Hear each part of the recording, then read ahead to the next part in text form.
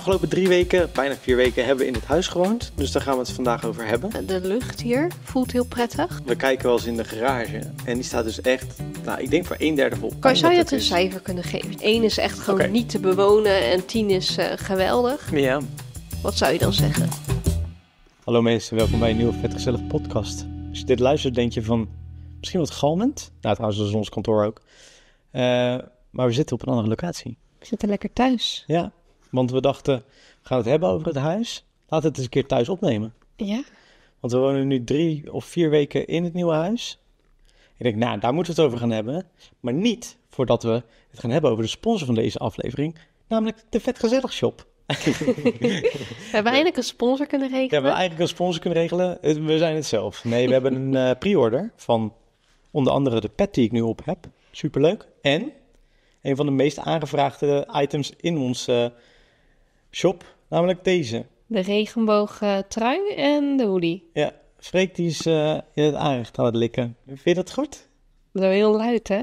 Heel luid. Nou, ik haal het wel even... Sponsor van deze video zou het niet leuk vinden dat het zo chaotisch gaat. Ja, nou ja, dan moet hij dan maar even door de vingers zien. hè? Dat is nou iemand leven als je thuis zit. Maar we hebben dus de trui en de hoodie. Dus dit is de trui, de hoodie. Hij is 48 uur te bestellen via de shop. Komende vrijdag. Uit mijn hoofd is dat 31 mei? Denk het wel, volgens Zoiets, mij wel. volgens mij. Ehm, is hij te bestellen tot 7 uur s Ja. avonds. Dus eh, ga vooral. En de levertijd is eh, minimaal 15 werkdagen. Ja, vanaf Dus- het moment dat hij eh, Besteld wordt. besteld Ja, dat is maandag. wordt. Ja. Nee, wacht even. Vanaf nee, het moment dat vrijdag. Vrijdag ga ik die... Ja, afgelopen drie weken, bijna vier weken, hebben we in het huis gewoond. Dus daar gaan we het vandaag over hebben. Want, is er veel gebeurd eigenlijk? Ik weet eigenlijk niet. Er is niet heel veel gebeurd, toch? Dat is, Nee. dat is juist eigenlijk het fijne ervan, Ja, volgens mij. We We hebben hier gewoon eh, gewoond. hebben geslapen. Ja, heerlijk dat is echt geslapen. heel fijn, ja. Ja, Ik denk al, eh, in het begin moesten we even wennen, maar al zeker eh, twee weken echt eh, goed geslapen. ja zeker. Want ehm, wat jullie hebben gezien de afgelopen maandag in de vlog, dat is voor ons alweer ruim drie weken geleden, drieënhalve weken geleden. Toen kwamen we hier wonen. Ehm, in de tussentijd is er nog wel echt het een en ander veranderd. Dat gaan we in een house tour laten zien. Gisteren heb ik ook nog allemaal dingen aangepakt. Aan de andere kant zie je iets leuks. We hebben een plant, we hebben eh, eh, nou, allemaal verschillende dingen.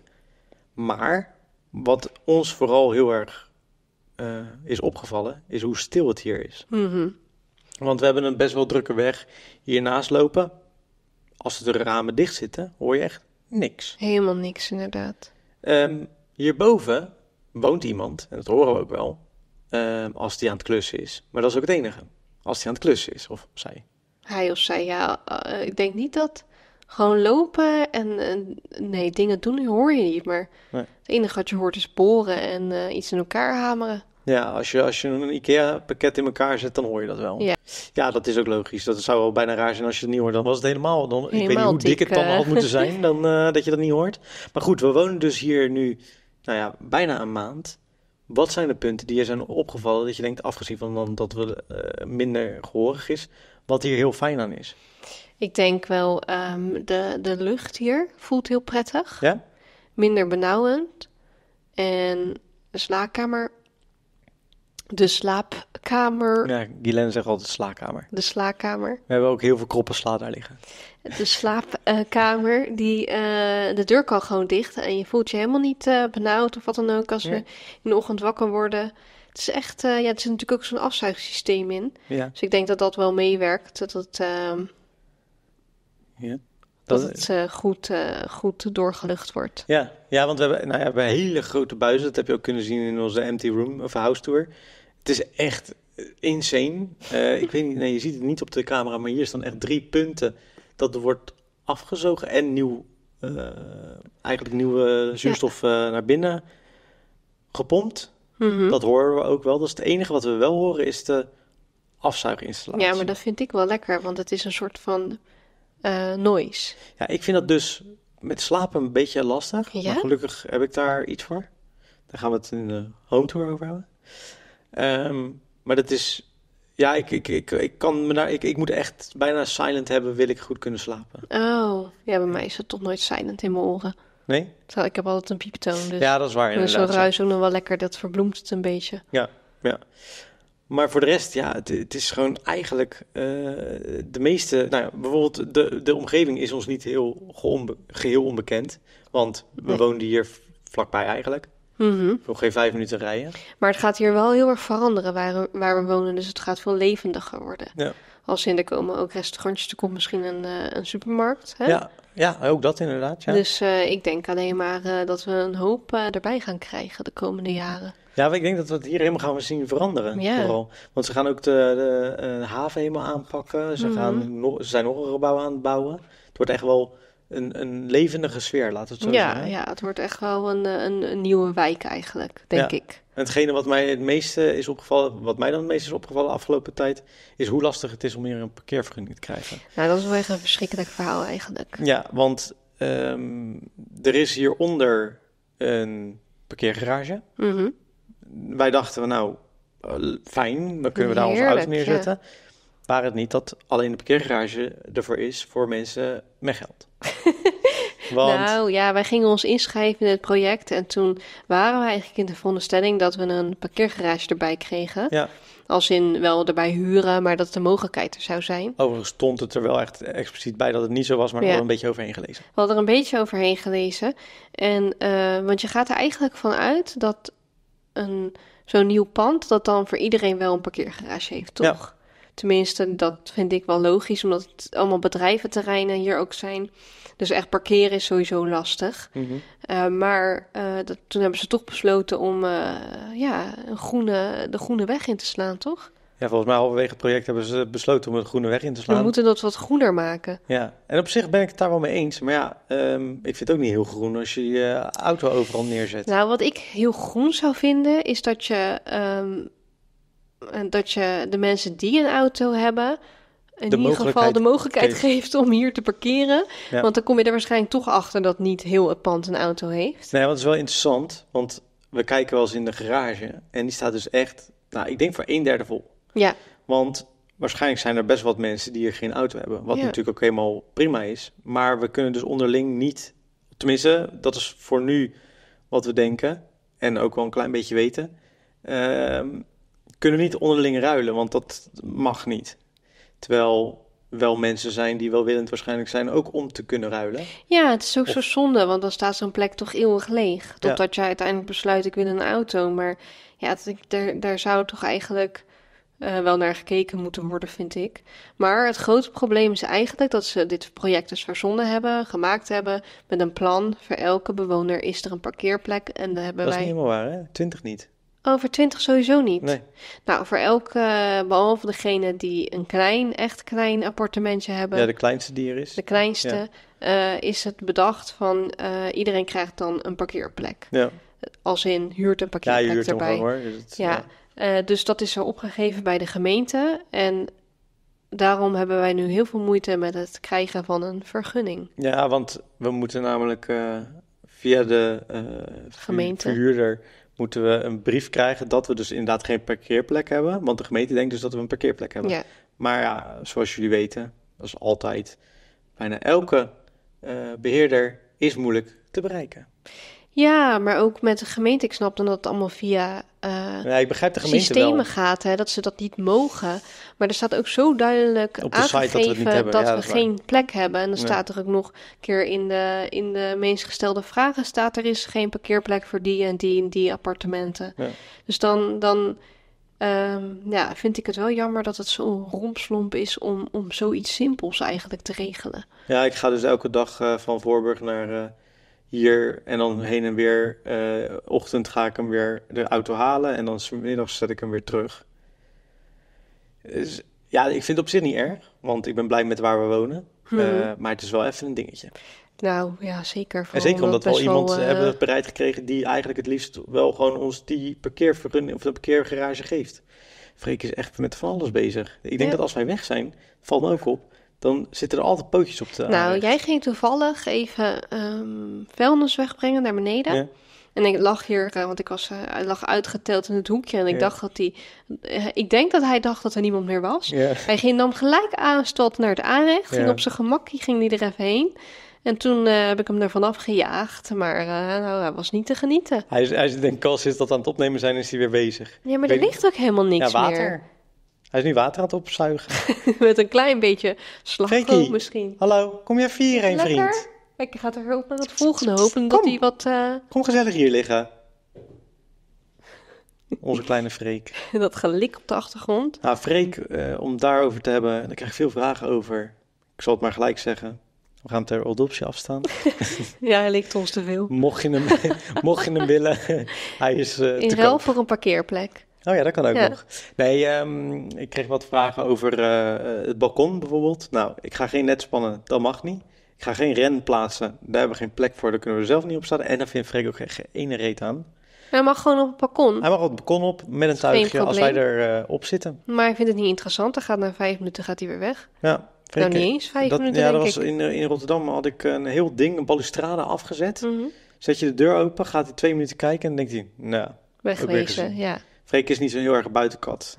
Op een of andere manier denken mensen dat katten altijd buitenkatten zijn, maar niet elke kat is een buitenkat. Nee. En Freek is geen buitenkat. Hé vriend, kom. Ja. Dus dat, eh, dat is over Freek. Hij het heel erg naar zijn zin. Hij zit de hele tijd lekker in eh, de zon te zonnen. Plus hij is 10 plus, dus hij moet 20 uur per dag slapen, stond er online. Ja, nou, hij is elf. Dat doet hij ook. Hij is elf. Dat doet hij ook, hè? Bij 11 plus gaan ze dat doen. Oh. Dan is hij senior. Als hij 11 is, is hij een senior. Maar hij doet dat ook echt. Ik zie hem alleen maar slapen. Hij slaapt veel inderdaad. Ja. Ja.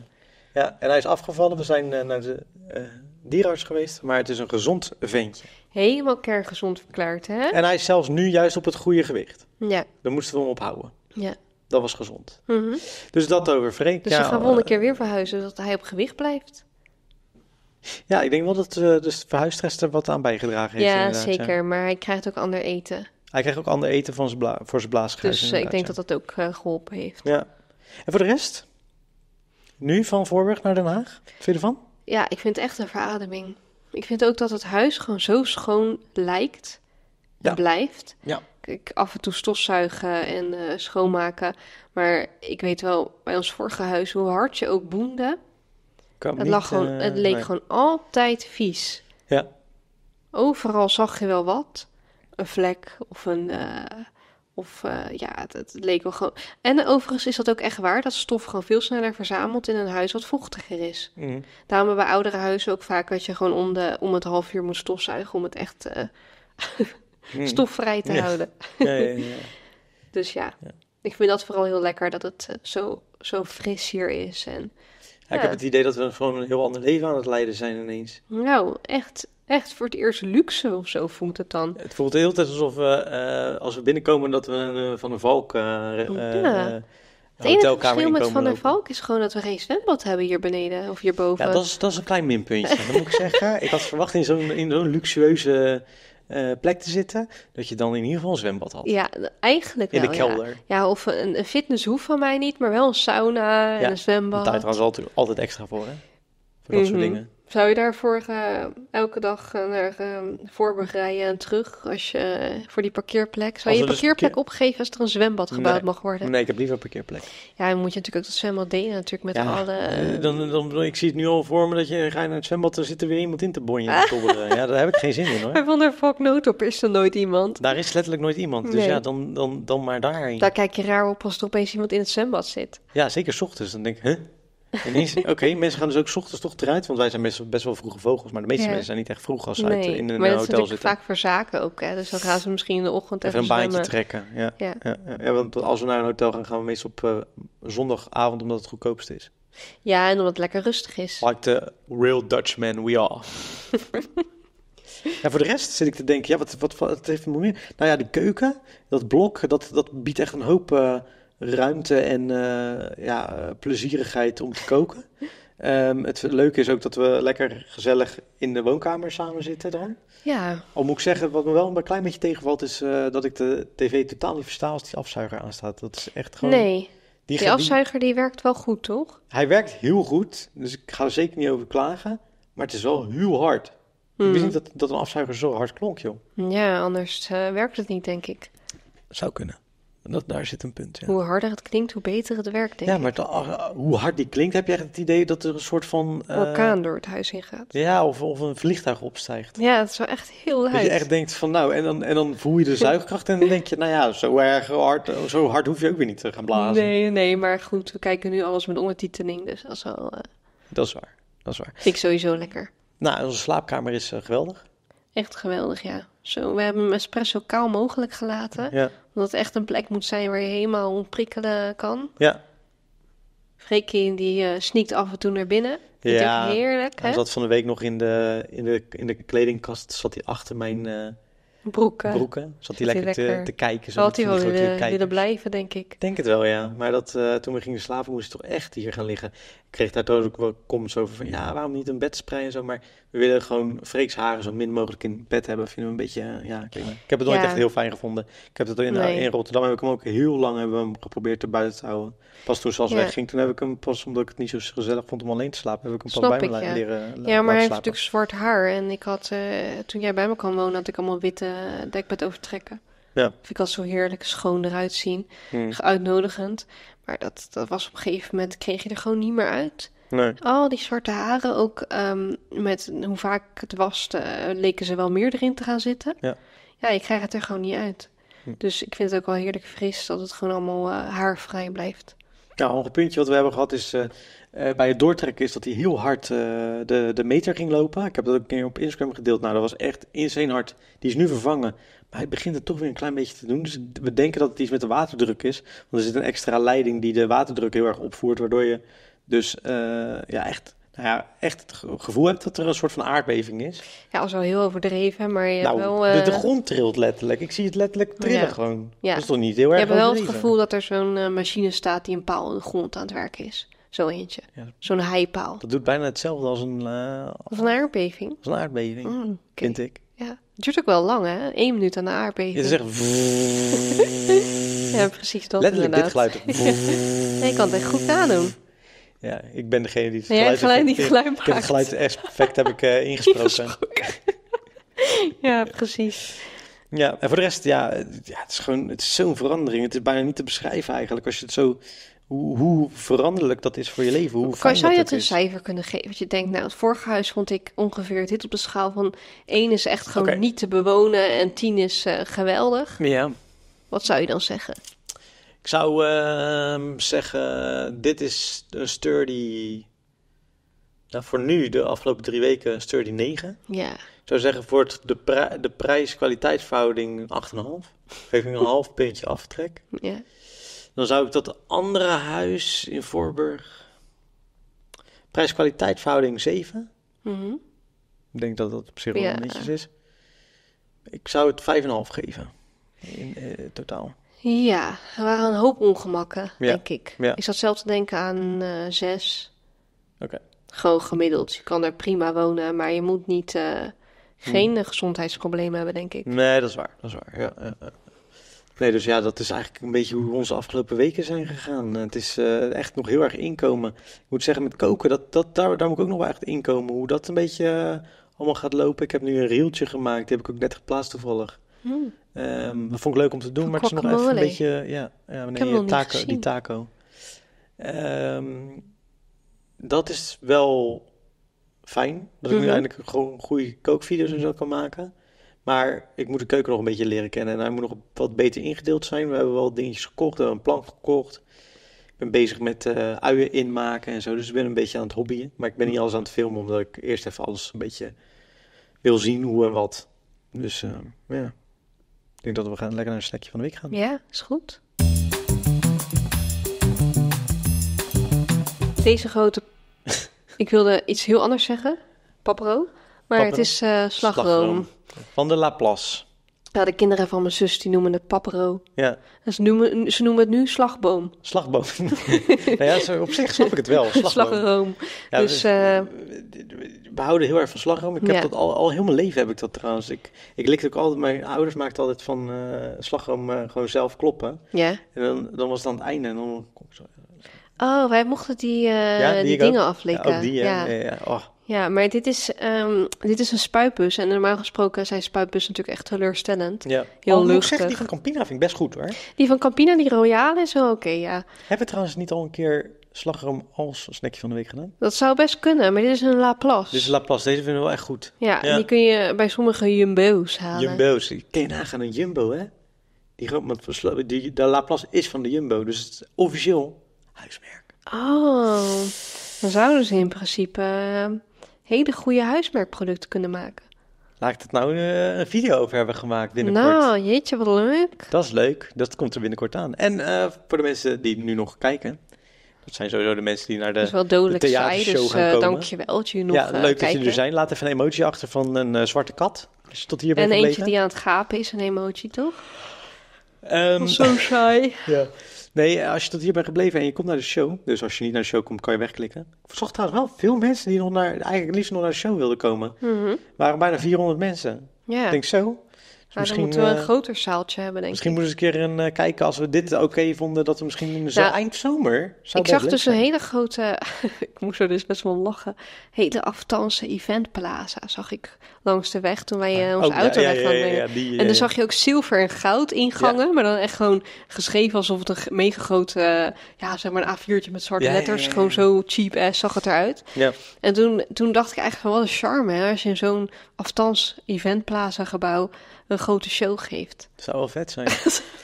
Gewoon eh, zo'n groot eh, stadion. Nou ja, Ja. ik zat wel te denken. Ik zat nog even. Kijk, als wij het nou echt leuk vinden. Hè, of, en we- we denken van dit is inderdaad een leuke manier om mensen te, Ja, te zien ontmoeten. en te ontmoeten en, en wat dingen te delen. Want er zijn dus. We hebben, de- ik ben bezig met twee video's. Die gaan niet online komen. Die komen echt alleen in het theater. Gelukkig niet, nee. komt echt omdat het best wel persoonlijke dingen zijn. Waar ik niet zoveel behoefte aan vo- voor voel om dat online te, eh, allemaal te moeten delen. Ehm, en speciaal voor echt kijkers die trouw kijken en zo vind ik dat wel leuk. Of Mm. tenminste mooi om te kunnen delen.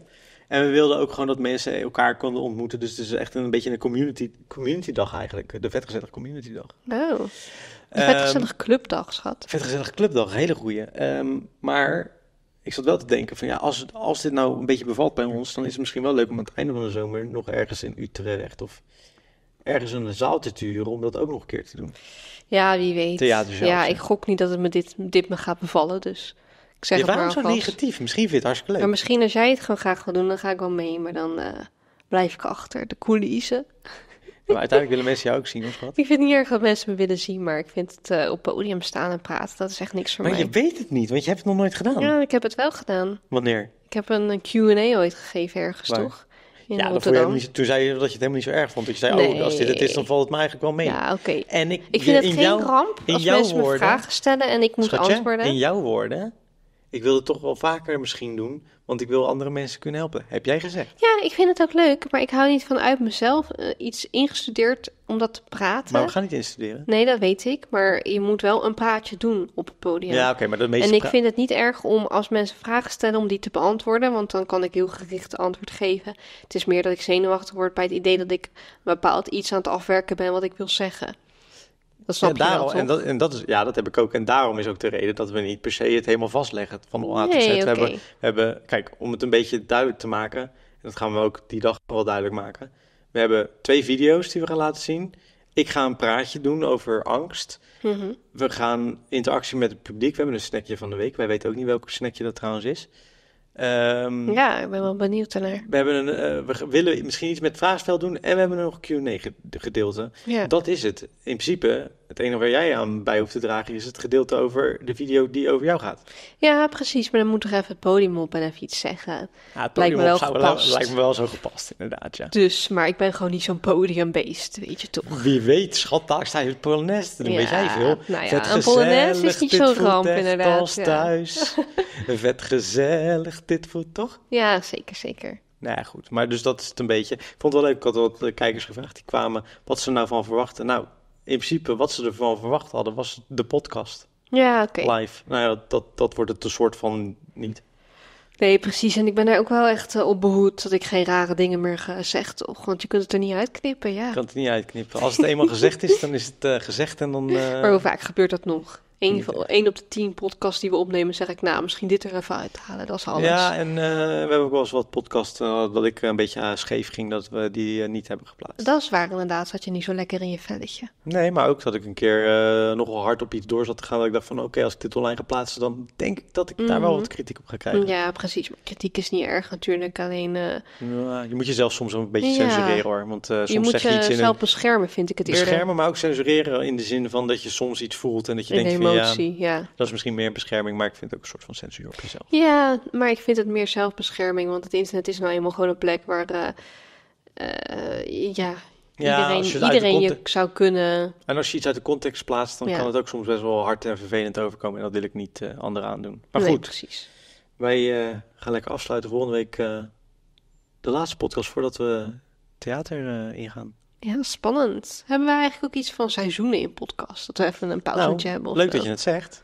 Dat gaat binnenkort aankomen. Echt? Als deze jaar, als deze podcast een jaar bestaat, gaan we even twee weekjes even rust. Zo, Had ik besloten al. oh leuk. Dus eh weet u dat het was. Maar dat duurt volgens mij nog vijf podcasts of zo. Oké, nou, Dacht ik. dat nee, is nog even... Dat is niet waar. Dit is de 48. Nee. Nog vier weken. Nog vier weken podcast en dan eh, zijn we er even tussenuit. Of eh, misschien na de show dat we het een keertje en dat we daarna het seizoen 2 beginnen. Ja, precies. Ja. Een seizoen is dus een jaar. Vond ik nu wel. Dat is wel lang, hè? Nou ja, maar ik wilde een keer een jaar iets volhouden qua dit podcast. Mm. is niet helemaal gelukt. net Twee weken geleden, maar goed. Soort van. Heb je er toen een niet uh, geüpload? Nee, toen eh, kon, lukte het niet met de Oh, toen had je een praatje in de auto gedaan. Nee, nee, nee. Maar die heb je Met niet online verhuizing, met de geplaatst. verhuizing. Je had toch een klein praatje gedaan? Ook, maar dat is ook een soort podcast. Die Ja. heb ik ook als podcast geüpload. Hmm. Ik heb meer... ehm, twee weken geleden, toen we waren, of drie weken geleden, toen we waren verhuisd, konden, lukte het niet. Ja, omdat nee. we zo druk hadden. Dat had je even laten weten, toch? Ja. Ja, oké. Maar goed. Nou, dus dat dat. was hem. Tot volgende week. Ja.